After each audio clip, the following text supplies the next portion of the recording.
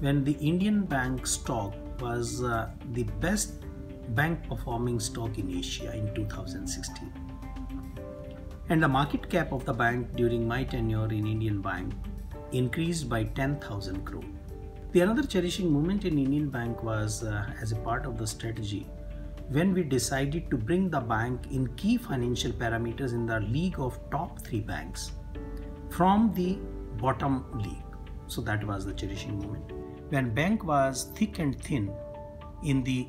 government uh, mm, uh, major initiative of demonetization. And i'm i was really very happy when i observed that uh, our team was able to provide excellent customer service to all the customers till midnight and seamlessly they worked and there was not a single complaint against the bank employees and bank employees were not involved in any kind of unethical practices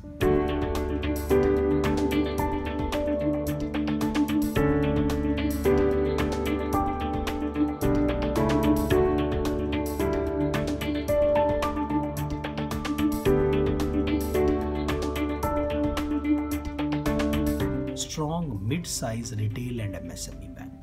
and initiative were taken in that stride. In IT we created a research and development team which developed a lot of in-house uh, IT apps which help the customers to provide the ease of banking and uh, ease of banking with lesser cost which help the bank to garner a lot of business from the government departments from big and large corporates as well as from the individual customers we did lot of hr reforms also which basically bring the loyalty and cohesiveness among the team working in indian bank